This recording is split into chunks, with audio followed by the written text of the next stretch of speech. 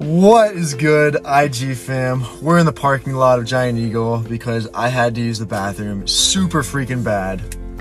But hopping on here super quick because we're in another vibe and I want to spit some knowledge. Or, it's not knowledge, but you know, something that's been on my mind lately. And uh, I just wanted to share it with you guys because I think it could help. So, here goes nothing. So, this one is about being present, being in the now, and giving people your full undivided attention. So, here we go. So, essentially, be present, be awake, be aware. Always give your full undivided attention to whoever, whomever you are with, wherever you are in the now. So, it is unfair to yourself and to others not to be. Listen to others, let them feel heard. Do not allow past traumas dictate your present state, your emotions, your feelings, your headspace. It is all in your head. You have the power to control your feelings instead of allowing your feelings to control you. You can let whatever happened yesterday impact you today if you truly desire to. And oftentimes, people identify with past traumas to find a sense of identity, but sometimes they don't always paint the prettiest picture of who they want to be. You can let what happened 10 years ago impact you today if you desire to. Life always and will forever happen in the now. And it is unfair to let past traumas, insecurities, energies impact your time with other people, yourself, especially yourself. The present moment is always tainted by past events and future unknowns. Give people and yourself your full undivided attention now. That is everything and the only thing you owe to them and to yourself. So, kind of going off script here a little bit, but I started writing down notes in my phone because it's easier to just speak directly and make this a little shorter.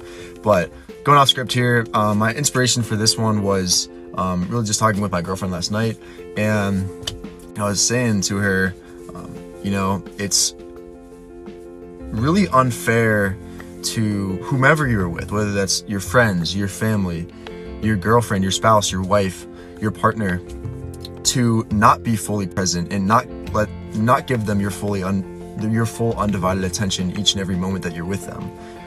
Because so and for me this was a big unlock because you know I used to let a lot of past events or insecurities or things that I just identified with to find you know a sense of identity with you know okay this is I'm Connor. This is who Connor is and who he should be, or you know, today, right now.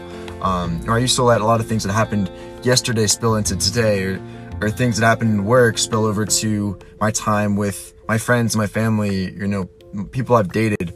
Um, and I really thought about it. I'm like,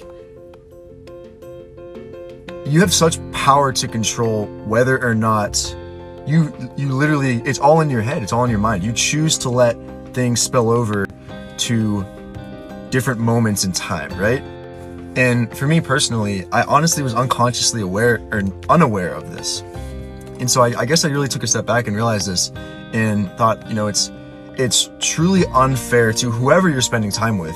You know, maybe you're just spending time with yourself, you're alone at a at a larger pers- you know level, but I think at a very fundamental level, if you're going on a date with your girlfriend or if you are spending time with your friends or hanging out with your family, it's unfair to let whatever happened yesterday impact who you are and the time that you're spending with your loved ones or the special people in your life today, right now. It's it's unfair to them. It's unfair to to allow certain things that have happened in your past take hold and you know, surround your energy with who you are right now. And I think human beings in general have a difficult time compartmentalizing time in events that happen throughout time.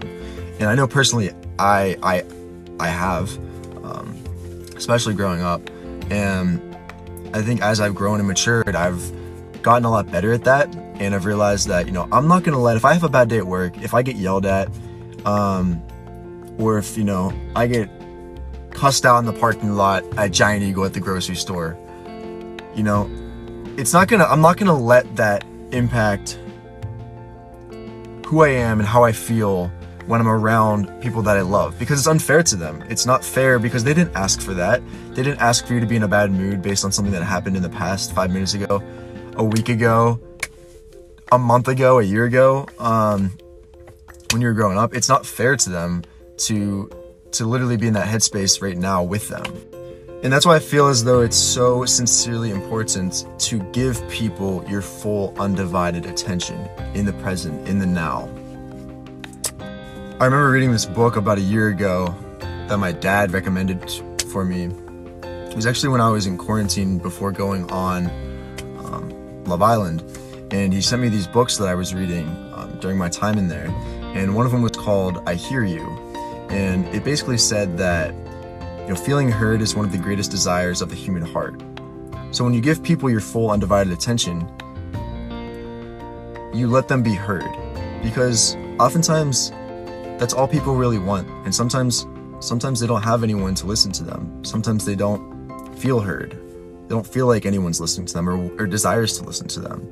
So give people your full undivided attention, allow them to be heard, and just be present, be awake, be aware, and appreciate each and every moment that you have with your loved ones and special people in your life.